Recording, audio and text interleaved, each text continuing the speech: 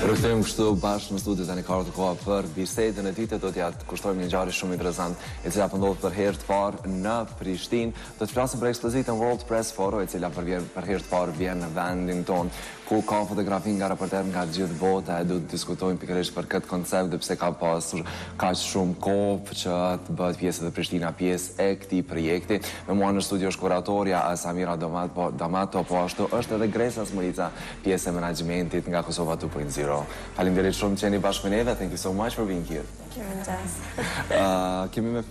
Fol përgjithësisht për konceptin e ekspozitës, ndoshta me na tregu pak ma shumë edhe nga kuratorja se çfarë do të përmbajë edhe cilat janë disa prej fotografive që do të shpalosen gjatë kësaj ekspozite.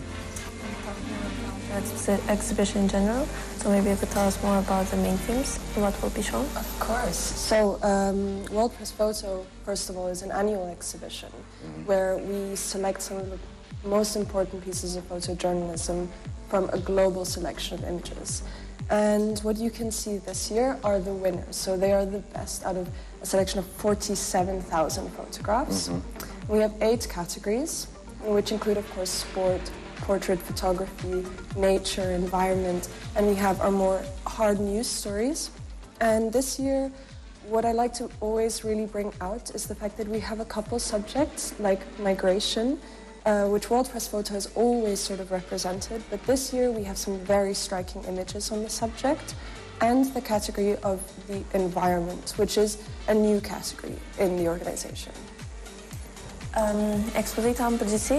ka me tregu për me përmledh ata që e ka, ma të mirat fotografi ose që ka prej reporterve nga gjithë bota. Domethënë,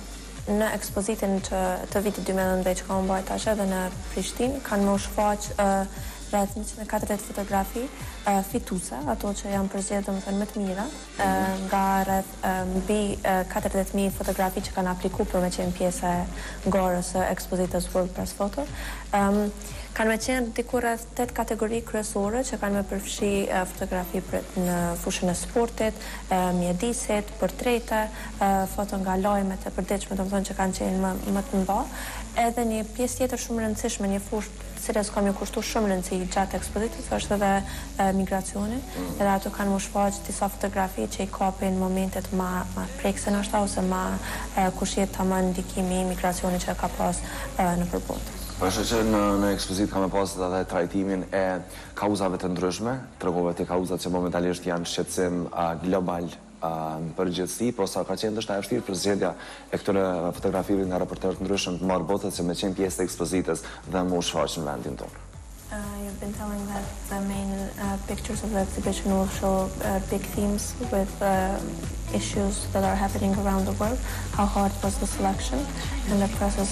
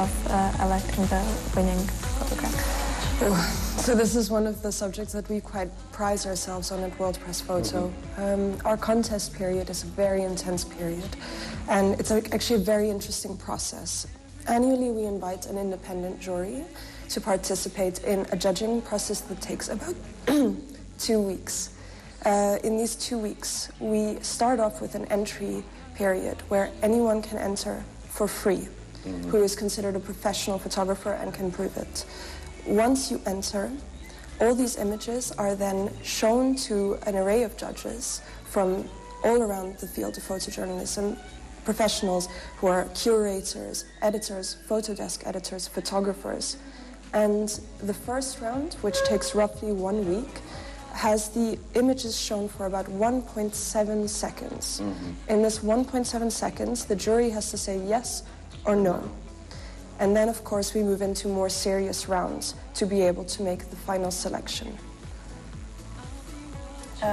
Procesi i përzgjedhjes është një prej pjesëve kryesore me të cilën janë shumë krenar komplet World Press Photo për shkak se është një kriter të cilin e ndjek komplet juria përzgjedhëse e ekspozitës. Domethënë Ka shumë fotografi që marrin pjesë dhe që konkurrojnë, pasi që procesi i aplikimit është i hapur për fotogazetarë nga gjithë bota.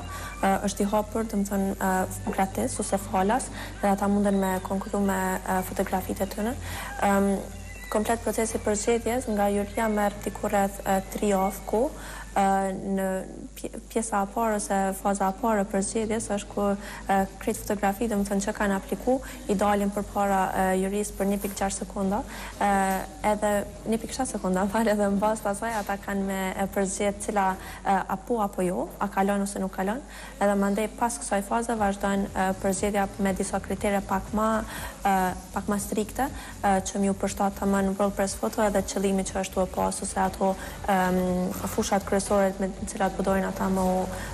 drejtu përgjatë secilit vit të ekspozitës. Po du me u ndal pak edhe tek, se gjithashtu jeni pjesë e projektit bashkë me me Samiren si ka qenë ndoshta bashkëpunimi ose si erdhi deri tek bashkëpunimi ndërkohë edhe para intervistës Samira që ka pasur një mikpritje shumë të mirë në vendin tonë edhe ti ke qenë ajo ndoshta që e ke njoftu më shumë me vendin edhe me kulturën kështu që tregoi menjëherë një mirënjohje për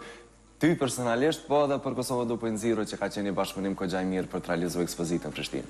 Është fati jonë që Prishtina i ka krejt vendet kryesore afër edhe mundet me i pa menjëherë. Bashkëpunimi ka ardhë bashkë edhe me mbështetjen e Ambasadës Holandeze në Prishtinë. Na jemi tu e organizu ekspozitën bashkë edhe me ata. Është shumë interesant m'i pa krejt ato fotografi, njëqind e katërdhjetë fotografi me storje nga krejt bota, nga shtete që ndoshta as nuk i kemi dëgju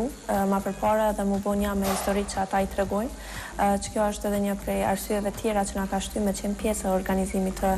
ekspozitës. Jemi tu u marrë, domethënë me pjesën e organizimit që diku tre muaj ose më tepër.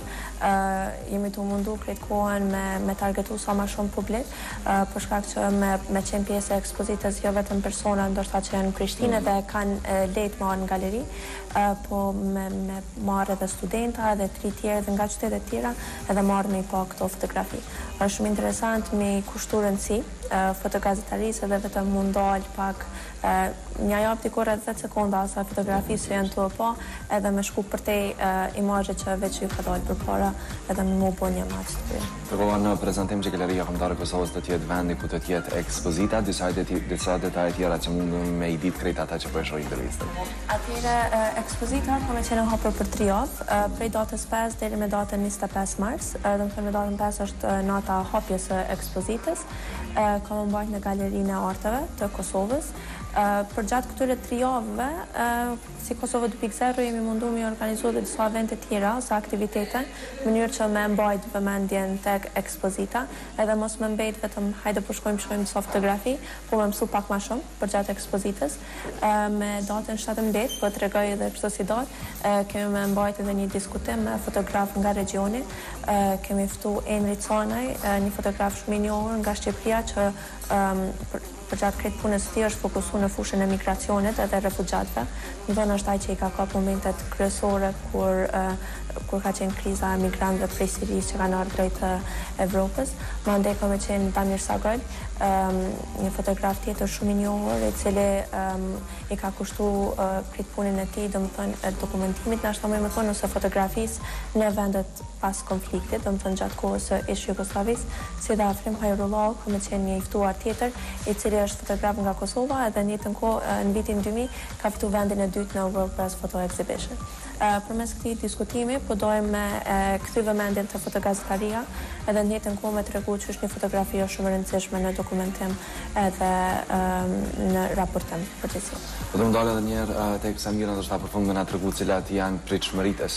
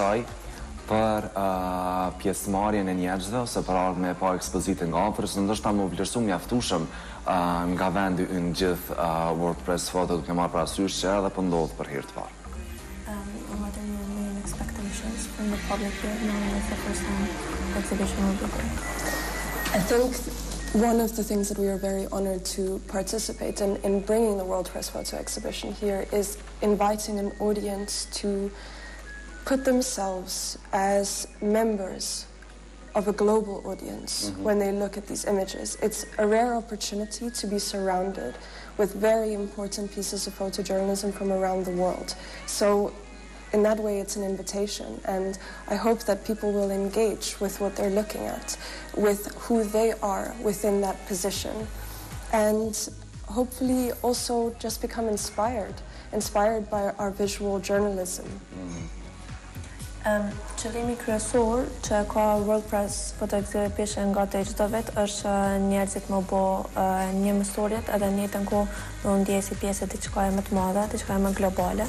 E njëjta ka me e ndjek edhe ekspozitën e vitit tash, domethënë që ka me u mbajt edhe në Prishtinë. Për këtë arsye, domethënë relacioni me publikun ka me qenë më shumë ashtu, Po ju ftojmë hajdeni me u angazhu dhe mu bo pjese e ni eventi pak ma global domethënë edhe me pa ngjarjet ma të mëdhaja që kanë ndodh gjatë vitit dy mijë e tetëmbëdhjetë edhe n'njëjtën kohë me mësu ma shumë rreth at krejt seneve që kanë ndodh. Faleminderit shumë, thank you so much for being here and for taking your time to to to to tell all this and share all the information about the exhibition. Thank you so much for having me. Faleminderit që na pyetët.